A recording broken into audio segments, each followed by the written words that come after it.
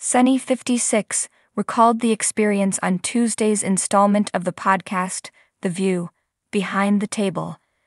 It started with Sunny revealing the strategy she taught Joy while browsing at a sample sale to The View's executive producer, Brian Teta.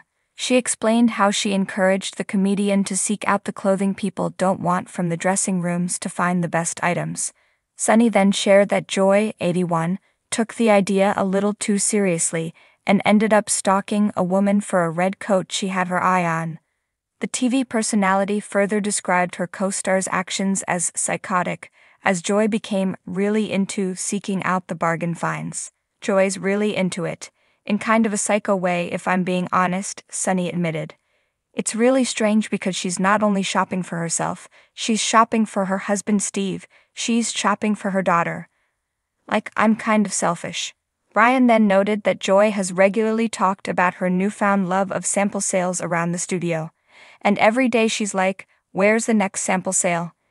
It's not that easy. It's word of mouth most of the time, Sunny replied. On Saturday, Sunny shared a photo from their outing on Instagram, showing the pair smiling while inside the store. They looked glamorous for the day out, with Sunny rocking a denim top, a full face of makeup, and her curly brown locks in a half up ponytail.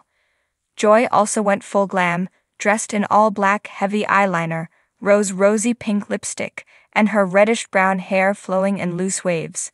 Did someone say sample sale? Sunny teased in her caption. Fans adored seeing the hosts together outside of the studio and said so in the comments. Oh, the giggles you two shared during this outing, one person wrote with smiling and heart emojis. Pretty girls, another fan said, while a third added, It's the smile for me. The ladies of The View have been spending more time together lately, away from the talk show.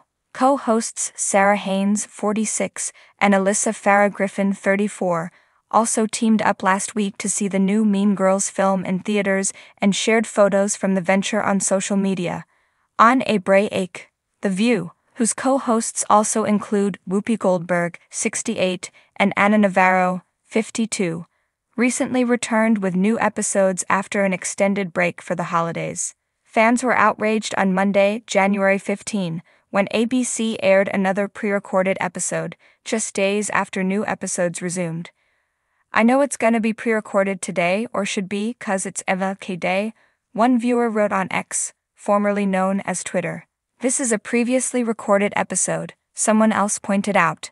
Since the day was a federal holiday in the United States, Martin Luther King Day, the show took a break, and the hosts returned to the panel on Tuesday.